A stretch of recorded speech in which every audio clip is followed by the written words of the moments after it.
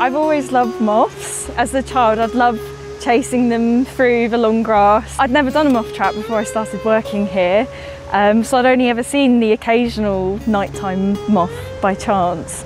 So to actually come here and see them all in the morning, I had no idea what to expect. It's non-destructive and it's also, it appeals very much to the, uh, the lazier end of the, the ecology market in that you set your moth trap up, set it up in the evening and you come back in the morning and, and see, see what you've uh, uh, captured. All the moths will be sort of uh, resting on your egg boxes in, in the trap and you can go through those and identify them and keep a, keep a list, which is something we've been doing at Woods Mill, more or less continuous monitoring since about 1995. So we're looking at about 30 years. As the year went on, we started finding more and more interesting species. I can't give you a, a number off the top of my head of the, the number of species that have been recorded here, but I do know it, it's around about seven to 800.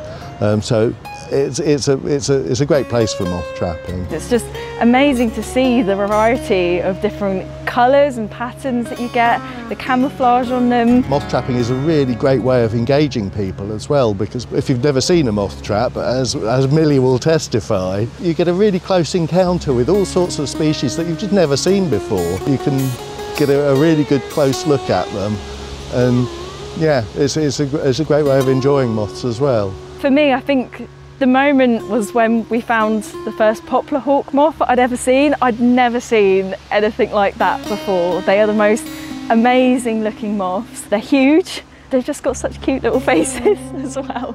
So yeah, they've become my favourite moth.